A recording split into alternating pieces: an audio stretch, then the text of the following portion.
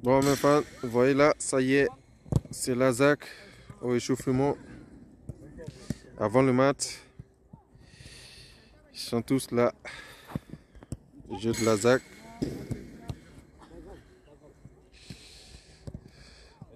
Feu